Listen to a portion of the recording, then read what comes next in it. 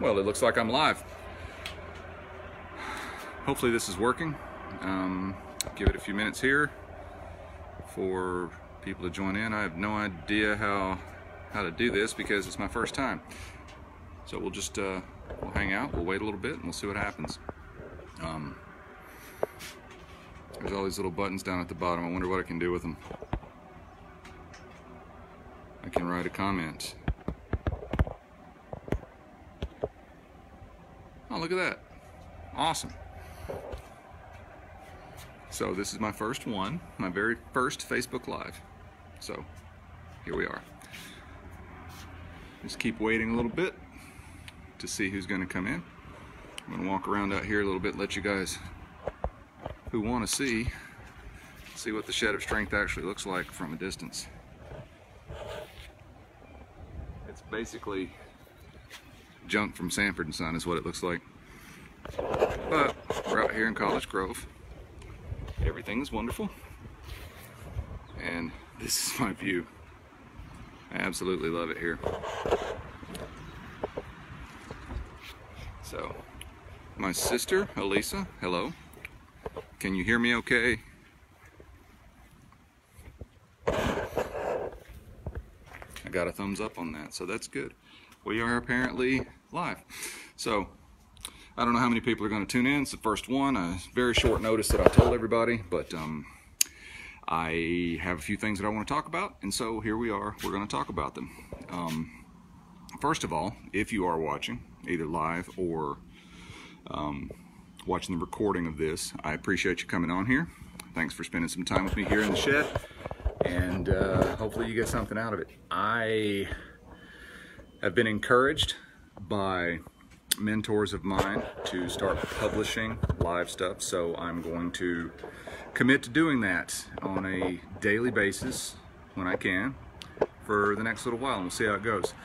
Um, stuff to talk about today. If anyone has any questions, please just type them into the comment section and I will answer them. If you know who I am or if you know anything about me, then you probably are familiar with the things that I know about and hopefully the things that I don't know about. So if you want to ask me questions about, I don't know, knitting socks, you're in the wrong place. If you want to ask me questions about getting stronger, if you want to ask me questions about body transformation, if you want to ask me questions about feats of strength, if you want to ask me questions about mindset, um, stuff about you know, Neville Goddard or any of that kind of stuff, um, please, by all means, type them in.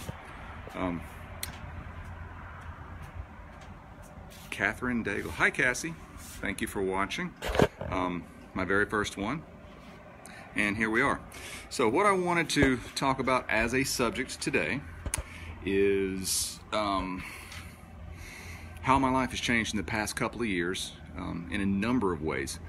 Um, first of all, about two years ago, it was I think April 17th of 2017, I decided to uh, go full blown, full bore, however the hell you want to say it, into the ketogenic diet. And I thoroughly, thoroughly loved it. I have thoroughly enjoyed it. I still eat a low carb lifestyle to this day. Um, within the first few months of switching my diet around and um, being 100% committed to that, and not taking cheat days, not taking off days, not doing things like having the occasional beer to drink, because I did love me some beer. Um, I dropped, uh, how much on the scale? Close to 60 pounds on the scale. So that was awesome. Um, able to maintain it. I was doing some fairly serious training at the time too with feats of strength, barbells, kettlebells, all the kind of stuff that I'm already into. Oh, it's my cousin Jamie. Hi, Jamie. Um, thank you for joining. Um, and then the most wonderful thing ever happened.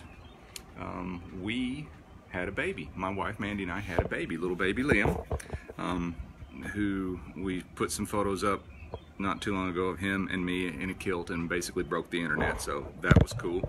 Um, but it's he's almost six months old. He's like five and a half months old now, and um, anyone who's a parent knows that bringing a child into your house, bringing another person who is completely dependent on you, disrupts everything and you have to accommodate that. There's no um, um, getting around the fact that you have to accommodate that.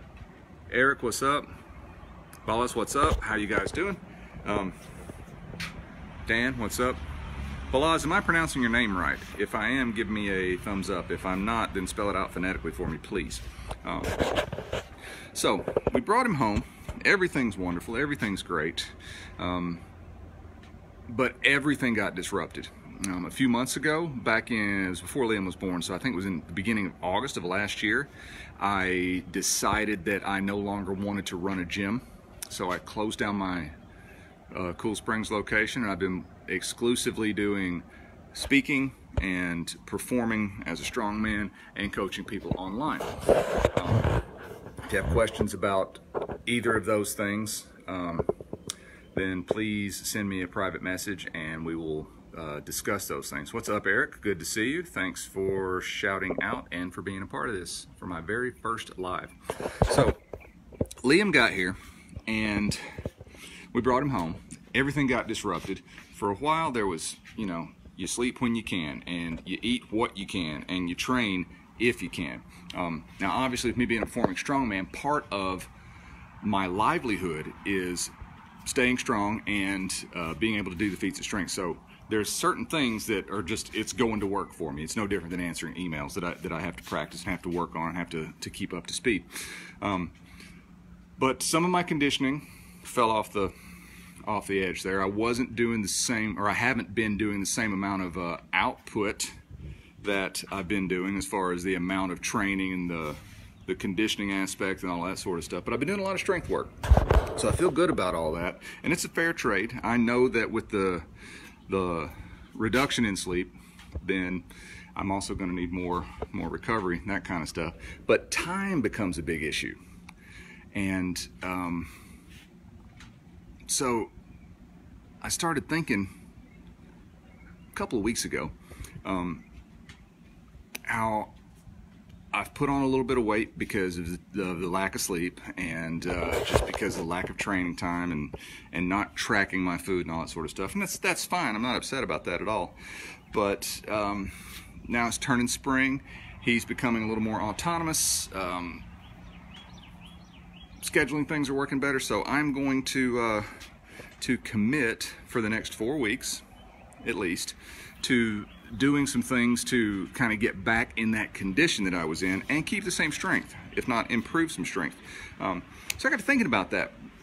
And I do not want to go down a path that I've already traveled in any sort of conditioning or any sort of strength thing like that. So um, I don't really want to do thousands and thousands of swings right now, um, which is amazing and it works and and I love it. But I've done that several times and don't want to do that. Um, I train here. You can see there is no wall behind me. I have three walls around me. Um, and that was part of part of uh, what was going on over the winter too. Is it got a little bit chilly, and so uh, not that I mind the cold at all. I don't. Um, but coming out here and grabbing a kettlebell or a barbell or a dumbbell that's been sitting around in very cold temperatures, you have to wear gloves or it can actually damage your hands. If you don't believe me, um, I don't recommend that you try it. So um, now that it's warming up, that's not an issue anymore. So what I decided to do is um, I want to get in better shape than what I am now. Um, I want to harden up a little bit and that's important to me because it's just part of what I do. But I also want to model for Liam the behavior that no matter what kind of disruptive schedule thing you might have going on, no matter what's happening in your life, if you want to accomplish something, you have to schedule the time to do it, you have to have a plan to do it, and you have to actually execute that plan. And so um, I know that he's he's not picking up on all the details of that at this young age yet, but it's uh, cool breeze up the kilt. Absolutely, that's the truth. Um, absolutely. Um, made me lose lose my train of thought. Um, where was I? Oh yeah, uh, I want to model that behavior for him because I want him to know. I want him to see, not just know, but I want him to see um, the example of me setting a goal and carrying out the action steps to, to doing that. So, um, where I kind of run into trouble with that is figuring out how to schedule it, having enough time to do it, and being able to do it with um, um, a fairly limited amount of equipment that I have here. Um, I mean, I have, I have, quite a, quite a bit of stuff because most of the stuff that I that I have here uh, is left over from when I had a gym. So um, what I decided to do was just kind of set um, set some parameters for myself and just see how it goes. And I, literally thought of this just recently, just like in the past couple of days, and decided that uh, that I would share it live with everybody. So what I'm going to do is I'm going to take a single dumbbell. I have this guy right here. It weighs 65 pounds. I have a pair of them, but I, I decided to make it even even more cut and dried in parameters. I'm going to take a single dumbbell and I'm going to use it for every session for the next four weeks and see what happens. Um, I'm going to um, document what I'm doing. I'm going to um, see how creative I can get with that and also keep it as simple as I possibly can too because if anybody else wants to try it out I want them to be able to do it and at the end of this then uh, then maybe I'll make it available to to everyone when we when we find out what kind of uh, what kind of actual results we're able to get out of it so that's the epiphany that I had is I want to I want to be able to do this I'm still going to be practicing um, bending and ripping and and breaking coconuts and and all the stuff that goes along with that. But that stuff is not very conditioning intensive. This is going to be more of a conditioning and um, sustained strength, to borrow a term from Marty Gallagher kind of thing. So I'm going to take one dumbbell. I'm going to do all manner of things with it and um, see what I can accomplish with that.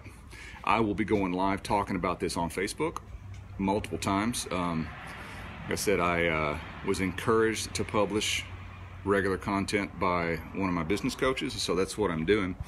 And um,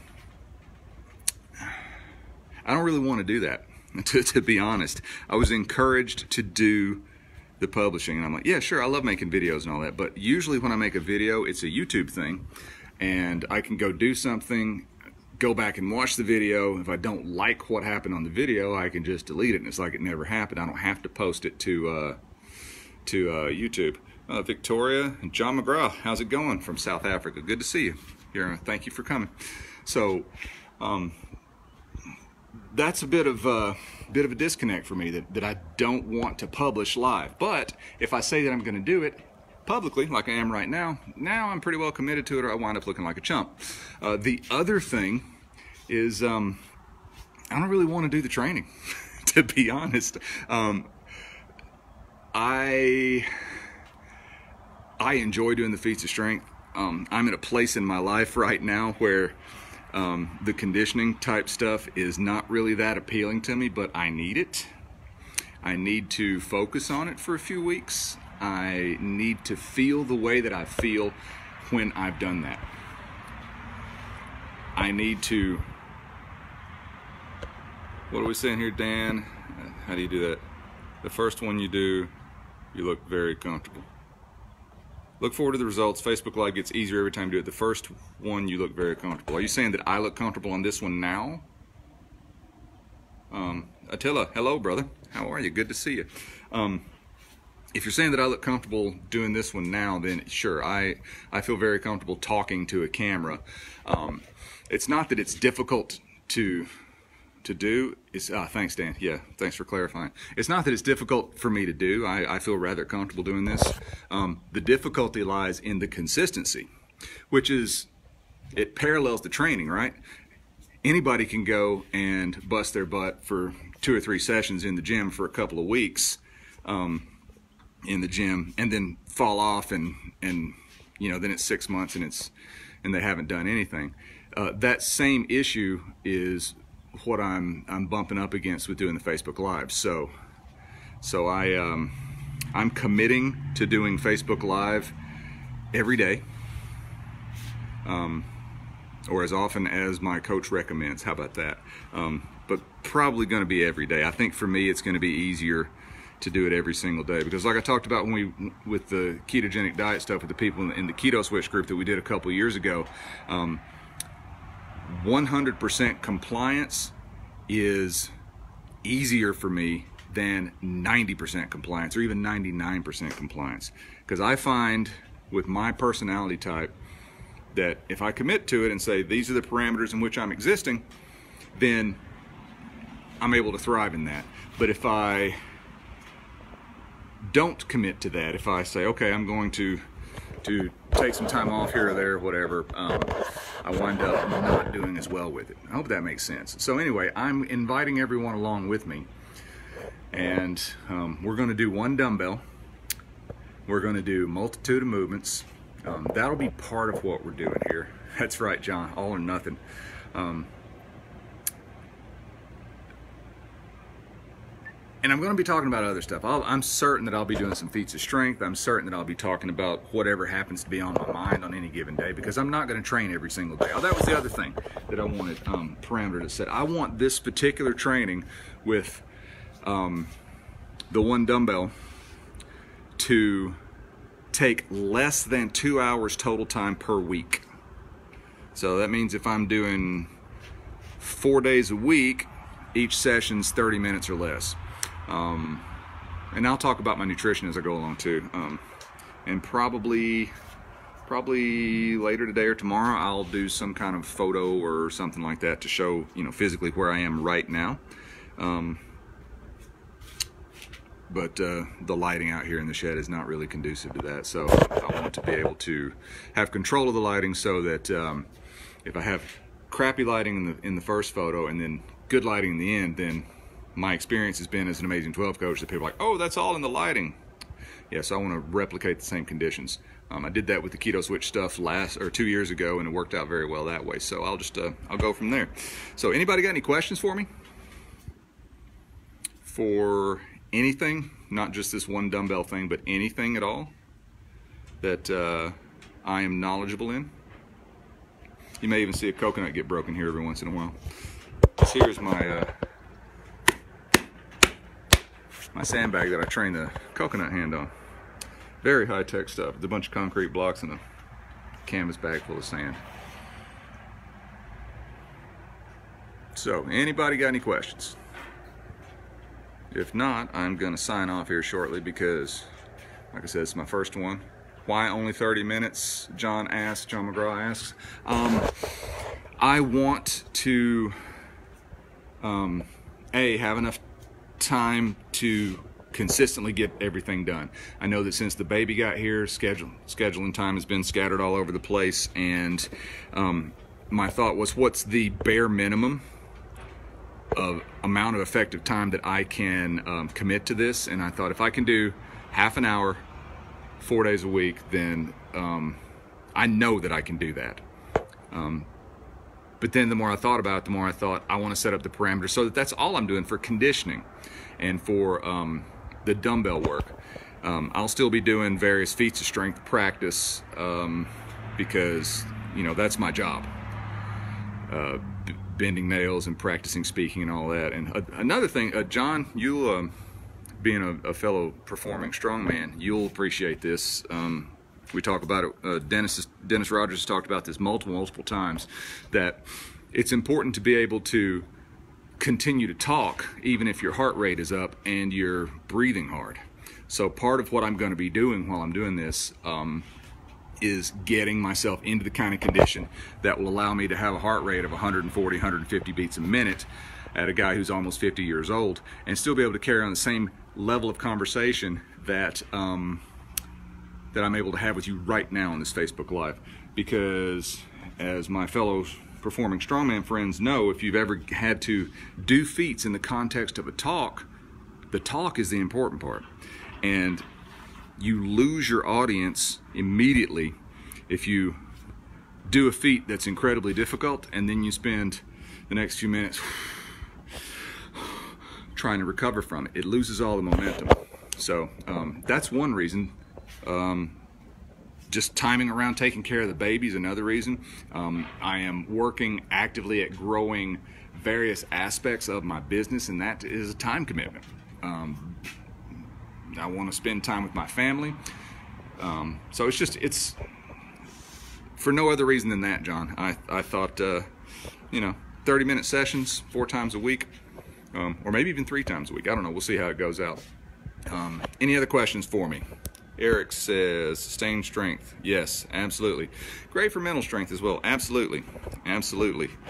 Um, when you get into that that place that sustained strength training can take you mentally, um, it's a special place that you have to experience for yourself. So, um, any other questions for me today? And if you don't have questions for me, then that's fine too. If you think of anything that you want me to talk about besides this one dumbbell business, then um, by all means, either uh, post it in the comments or post it on the page or send me a message or write me a letter or send me a carrier pigeon or whatever, you know. Um, I'll do what I can to answer it. If I know the answer, I'll answer it honestly and authentically. And if I don't know, then I will say, I do not know. Um, anybody got anything else for me today?